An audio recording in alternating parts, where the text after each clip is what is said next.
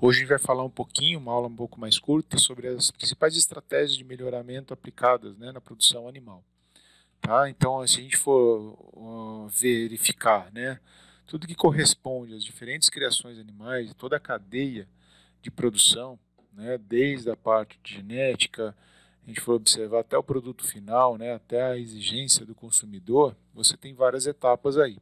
Então, para exemplificar, eu peguei a cadeia produtiva da carne bovina, né, que você tem diferentes objetivos do criador, né, do produtor, do pecuarista aí. Então você tem propriedades que fazem da cria, recria até a engorda, né, a terminação do animal, que vendem para os frigoríficos, que exigem um produto selecionado justamente para atender a demanda do consumidor. Né? Então, logicamente, tudo isso você tem interesses econômicos associados a uma exigência né, de qualidade e também quantidade do produto. Então, para atender essa exigência, não somente do consumidor final, que praticamente é o que, que dita as regras, mas você também tem é, exigências próprias aí de frigoríficos, das empresas, né? E se a gente for levar esse mesmo raciocínio para outras produções, como a produção avícola e de suínos, essas exigências por parte das empresas, né, integradoras principalmente, elas são muito maiores, né? Então você tem aí uma uma carga, um investimento muito grande em melhoramento genético animal, justamente para atender os diferentes nichos né, de, de, de mercado. Então você tem aí desde né, de animais que, que precisam ter uma conformação especial para atender uma certa época do ano, por exemplo, está vendo né, ao final de ano, por exemplo, que precisa de animais, né, de aves, por exemplo, maiores, com maior área de peito, sobrecoxa, né, com umas áreas mais nobres, de corte mais nobres, é, isso faz com que você tenha uma linhagem específica para poder expressar e poder determinar esse tipo de animal no final de uma produção. Então, se a gente for observar toda a cadeia produtiva, né, você tem diferentes objetivos e essas, esses objetivos eles têm que ser cumpridos justamente para trazer, né, agregar valor ao produto, para você ter também maior lucratividade e associar, logicamente, o melhoramento genético está associado à produtividade. Né? A lucratividade acaba sendo consequência disso, de um produto de boa qualidade que é pago aí pelo né, frigorífico, pela menção do varejo, mesmo pelo consumidor.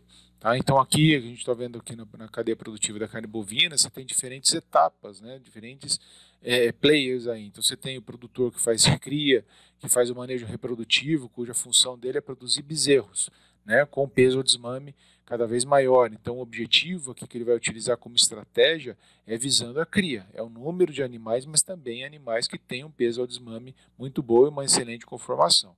Já produtores que fazem a compra, né, animais de recria, e aí faz engorda ou terminação, né, a terminação, que acaba sendo uma exigência do frigorífico, ele vai justamente utilizar estratégias né, de melhoramento, critérios de seleção que a gente vai ver na próxima aula, pra, que visam aí uma terminação de um animal mais bem acabado, de uma propiciando uma qualidade maior do produto para atender a exigência de frigorífico, né? E o frigorífico por outra vez, por vez vai atender o quê? Ele exige essa qualidade dos produtores para atender varejo e atender o consumidor, né? Tanto para você ter um melhor eh, processamento, como também armazenamento e preparo também do produto final. Tá? Então você tem diferentes objetivos, diferentes critérios de seleção que podem ser utilizados baseado no objetivo do produtor ou desse player, aí, no caso frigoríficos, e também indústria de processamento. Tá bom? Isso em, toda, em todo tipo de produção animal. Tá? Então, se a gente for pegar, né, a, vou dar um foco maior hoje aqui, só para a gente ter um exemplo mais na, no melhoramento genético de bovinos, se a gente for observar qual que seria né, a melhor raça né, para a gente poder trabalhar o melhoramento genético até para a gente fazer um paralelo como é que está o né, como que está sendo feito, sendo feito o histórico aí que vocês já fizeram esse trabalho na atividade da semana 1, né? Mas a melhor raça adaptada ao Brasil, qual que propicia, né? Quando a gente fala de adaptada, é cada vez menos o estresse. Né? O estresse nada mais é do que uma forma de adaptação que o animal precisa para ele poder expressar, para ele poder sobreviver inicialmente.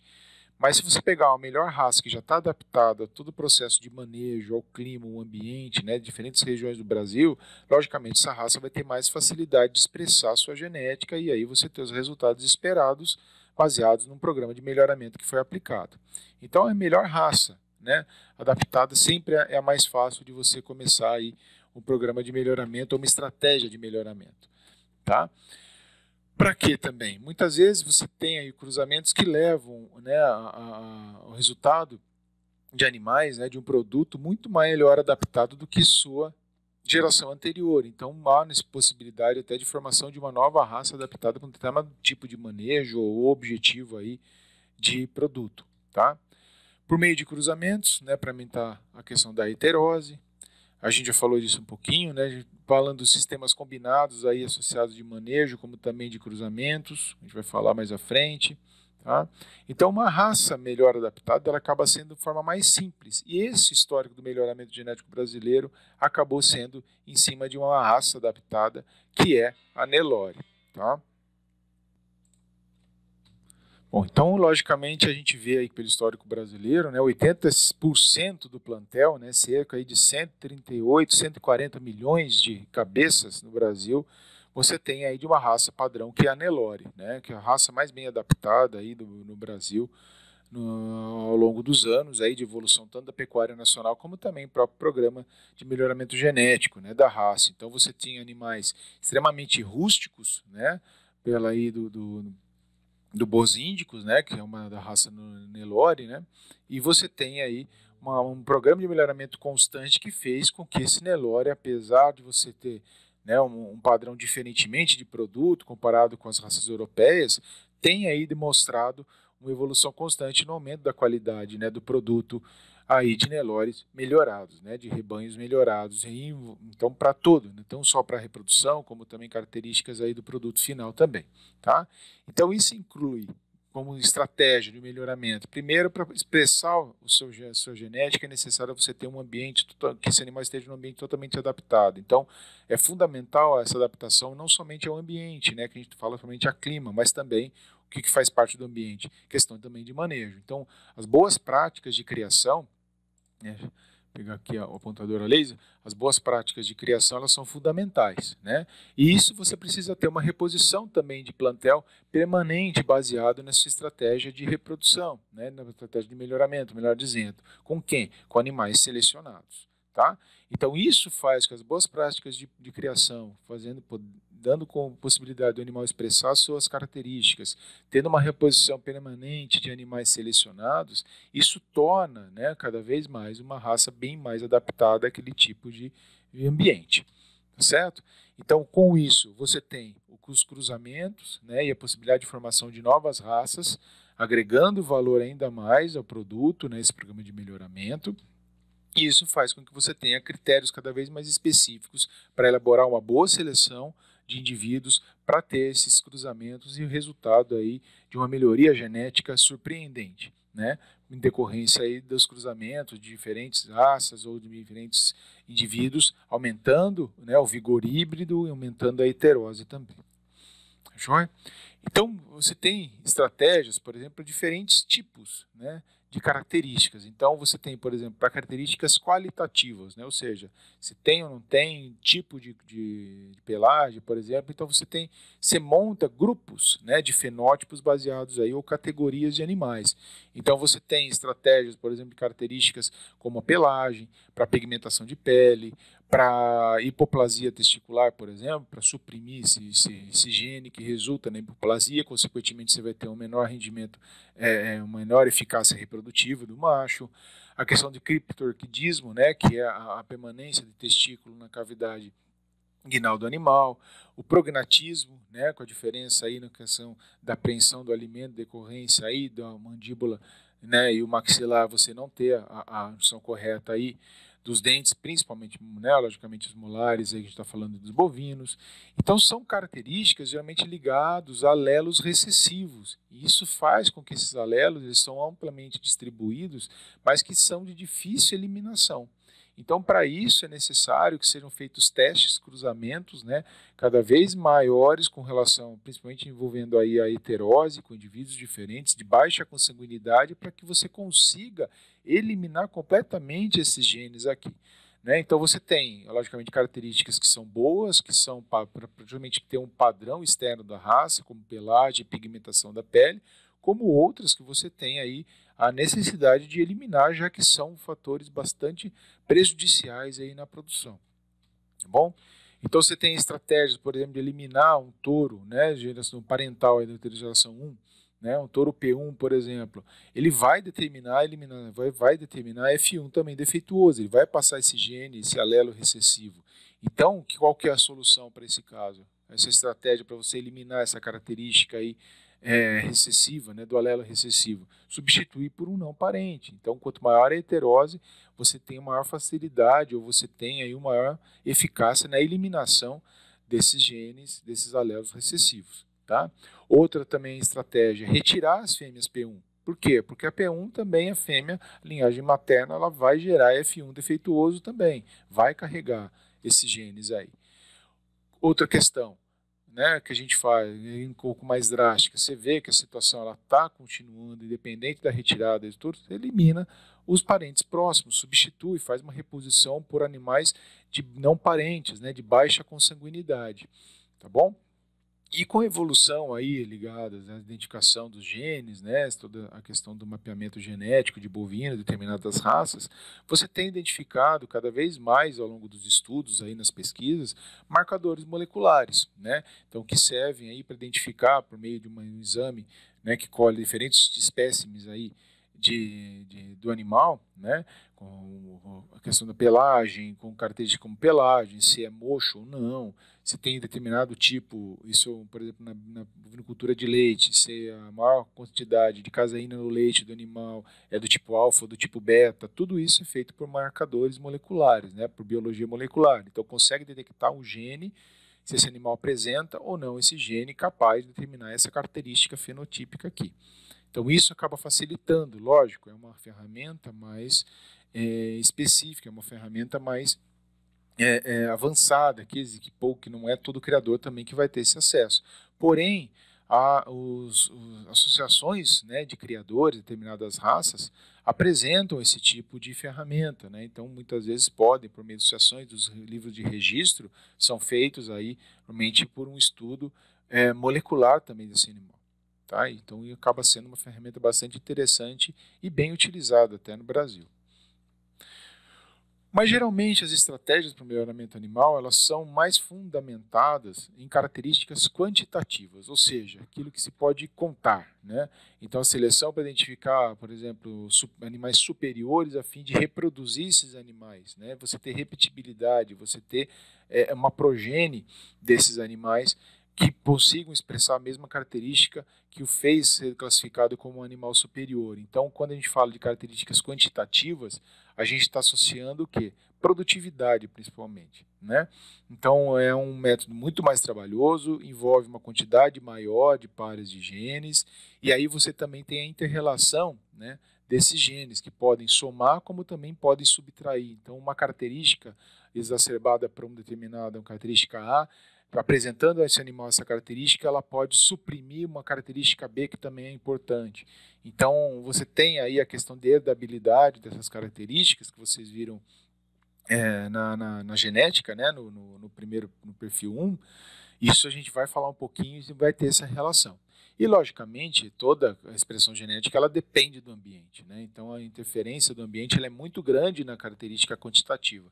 Não é que você tem uma, um, né, uma dose de um touro ultra, mega superior, campeão, que tem uma alta ganho de peso e tudo mais, se o ambiente qual ele vai colocar, né, qual esse, essa progênie desse animal vai estar, tá, ela não está, não, não dá possibilidade de toda uma expressão adequada né, desse gene e, consequentemente, o fenótipo ele não vai acompanhar a carga genética. Então, você precisa ter um equilíbrio entre várias situações aí né? não somente a genética, mas também manejo, ambiente, clima, adaptação correta dessa raça.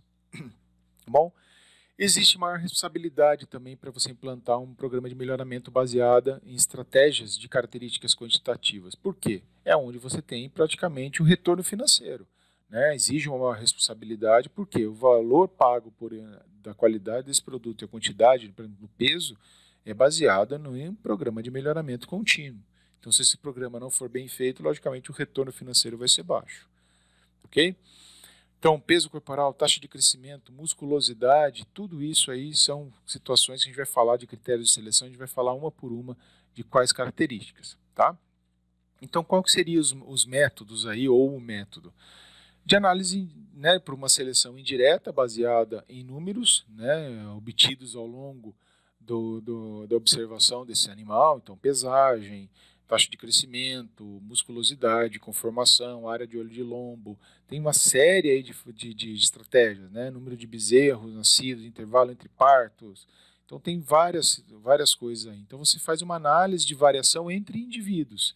Então você vai, logicamente, para você identificar um, um, um, animal superior, você precisa compará-lo com outros animais. Né? Então essa variação entre os indivíduos faz com que você tenha identificar os animais que são geralmente fora da curva de distribuição. Né? Tanto que são os superiores como os inferiores, que aí vocês não fazem a reprodução, você descarta. Né? Então tudo isso é uma forma de estratégia de reprodução. Sempre lembrando, né?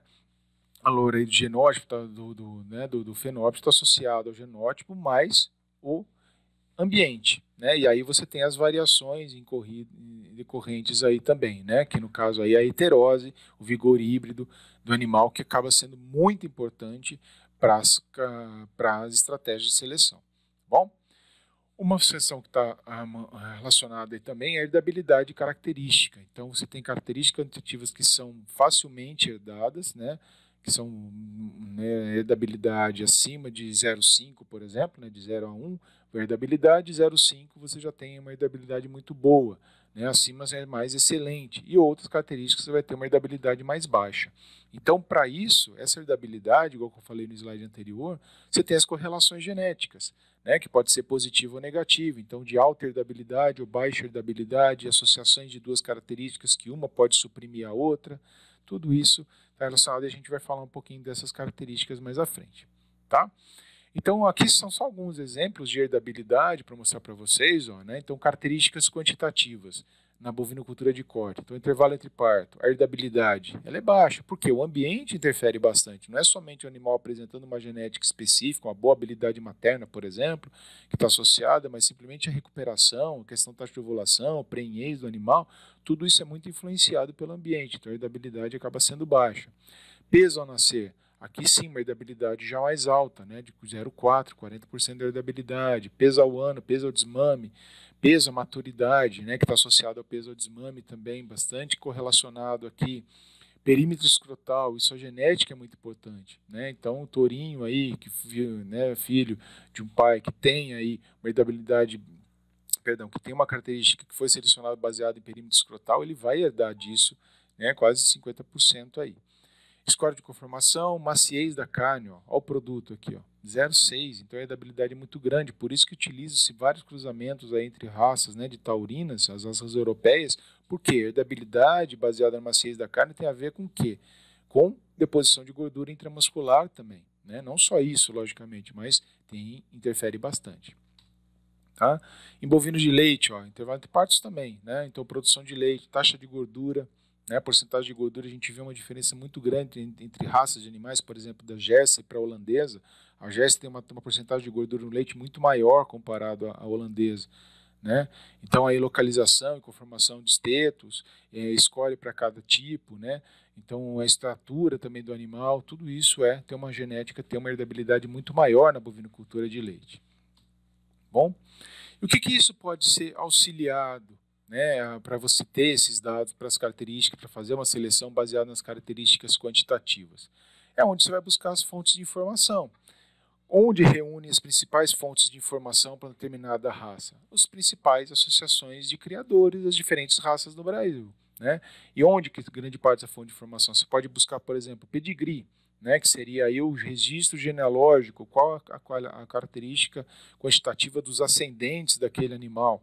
Né? Ele conseguiu herdar, então os testes de progênie, as provas de desempenho, tudo isso são situações que podem facilitar a obtenção desses dados aí. E serve justamente para quê? Para comparar esses animais com os outros indivíduos da mesma raça. Né? E aí as diferentes raças aí apresentadas. Tá certo? E existem bastante, né, como vocês podem ver aí. Bom?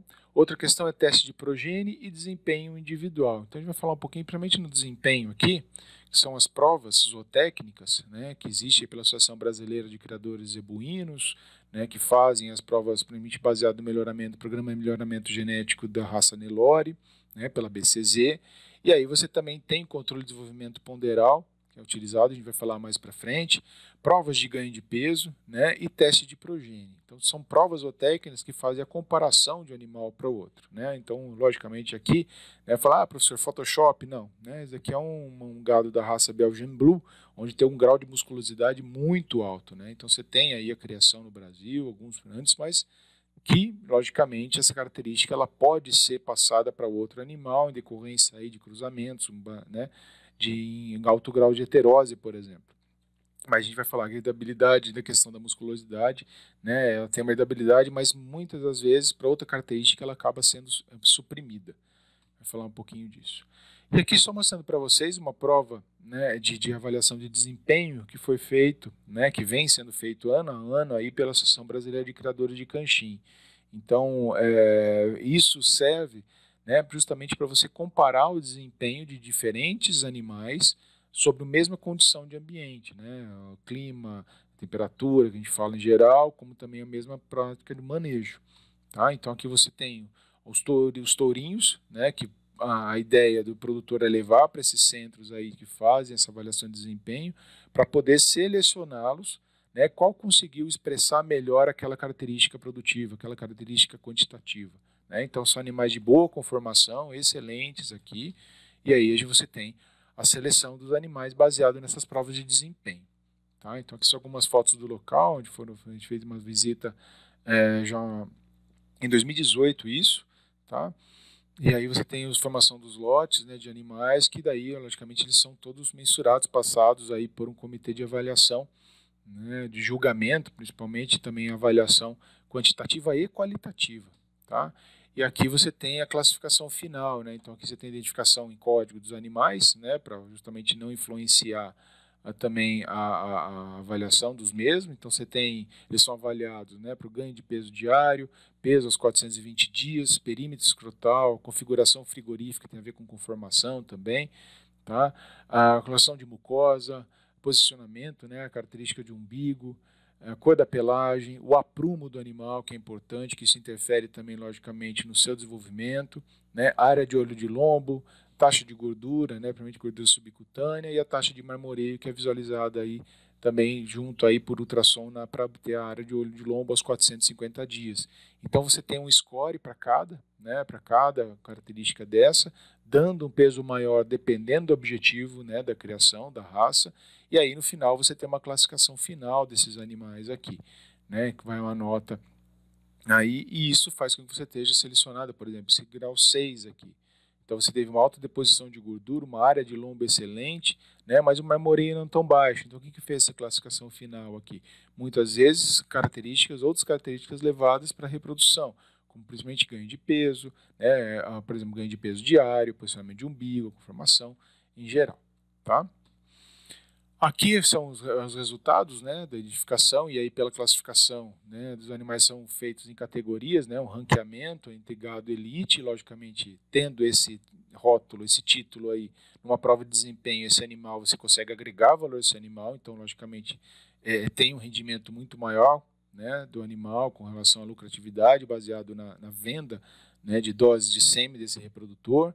Tem outra classificação superior plus e a superior né? E depois você tem as outras que são eliminadas aí também, tá? Que acabam não sendo as últimas, as primeiras classificadas. Então, para um produtor isso daqui é, é extremamente importante, né? Numa prova de desempenho, ele teve o melhor manejo possível, que ele teve todas as condições de expressar a sua genética, ele conseguiu render aquilo que é esperado. Então, você ter uma seleção de animais nessas classificações aqui elite superior, né, Superior Plus também, isso acaba sendo muito bom. Né? Então aí o produtor ele tem já uma, uma, uma, uma, ideia e parâmetros totalmente é, concretos para poder selecionar o animal a fim de, de, de retirar, né, de classificá-lo ele como reprodutor e poder usufruir dessa característica do animal para ter seu lucro, né, baseado aí utilizando ele como reprodutor. E melhorar, logicamente, seu rebanho. Ele vai utilizar esse reprodutor no rebanho para você ter multiplicação desse rebanho e você ter um rebanho comercial com características cada vez melhores, né, baseados no que está sendo herdado desse reprodutor para sua progênie. Ah, aqui também é uma prova Canchin também é, da raça Canchin, onde fez o resultado do teste de progênie. Né? Então, sem a classificação aí, né, baseado no pai, né, no reprodutor, qual o número de quantidade de, de, de, da sua progênie de filhos que foram participaram da prova, né? Então aqui a média dos filhos de, de, índice corporal e aí a classificação final. Então você teve aí o fruto, significa o quê? Que aquele reprodutor ele está conseguindo ter sua herdabilidade passar para os filhos, né? Lógico que tem bastante, tudo mais, mas conseguiu uma classificação muito boa. Então significa que as características dele tem uma alta heredabilidade e consegue ser passada para sua progênie. Né? Por isso fala o teste da progênie. Bom, além disso você tem, né? Então a diferença esperada na progênie, que muito, você faz uma expectativa dessa resposta, né? Que expressa na progênie pelo uso de determinado animal na reprodução. Então, por exemplo, você pega lá um touro campeão que vai cruzar com uma vacada Nelore que você tenha.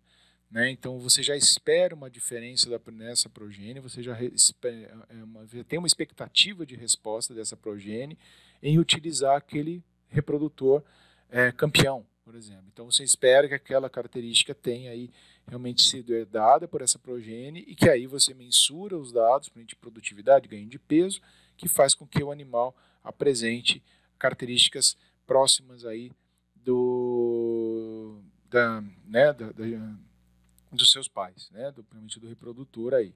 Então isso acaba sendo né, uma base, por exemplo, do programa, uh, tem um outro programa que é feito pela Embrapa, né, o programa Gene Plus também, que auxilia aí a, a, o criador na tomada de decisão. Então essas, essas, esses testes de progênie, essas provas zootécnicas, elas servem justamente para auxiliar com parâmetros técnicos e concretos, né, reais, para o produtor tomar decisão se aquele reprodutor, se aquele animal ele vai servir como reprodutor ou não, se ele vai ser utilizado aí né, é, para rebanho comercial, vai para rebanho de matrizes e reprodutores, vai dependendo para qual tipo de finalidade. Então isso acaba descendo bastante. Né? Então aqui é um programa pela Embrapa, né, o geneplus.com.br, faz o cadastro, tem, tem logicamente uma taxa de registro que é cobrada, e o GenePlus é, uma, é uma, uma, um software, é uma ferramenta bastante utilizada em diferentes associações de criadores, tá? a Canchinha é uma delas. Tá? Então aqui a gente pode ver, aqui no caso são animais do campus, onde é a primeira geração, né? onde a gente tinha uma vacada Nelore totalmente mestiça, inclusive até com jersey no meio, né? E você teve aí a cobertura de animais, e esse daqui foi o primeiro touro da universidade, no qual do programa de melhoramento que a gente começou a implantar. Né? Um touro totalmente diferenciado da vacada. Tá? Aqui já é uma geração, a segunda, que foi fruto da segunda estação de monta, né? então a gente nota aí animais, logicamente, com pelagem distintas decorrência da, da, da materna, né? da característica materna, uma das vacas aqui. Né? Totalmente me, me, uma miscigenação muito grande, né? desses animais é uma mistura bem mestiça. E aí você vê praticamente uma uniformidade muito boa do lote, ó, né, de bezerros aqui e bezerras. Aqui é vacada, né, com alguns bezerros aqui tourinhos. Então olha o quanto que é de, né, o quanto tem de vacada mestiça. E aqui você tem aí animais que puxaram a pelagem da mãe, né, características mais fortes, que sempre falando que são alelos recessivos de difícil eliminação, mas puxaram também dos pais, que foi um touro da raça Canchim, que foi utilizado aqui, que foi esse touro. Né? Então, logicamente, espera, que a gente espera para a progênie, que as características desse touro sejam repassadas para seus filhos. Ok? Obrigado, pessoal, e até a próxima.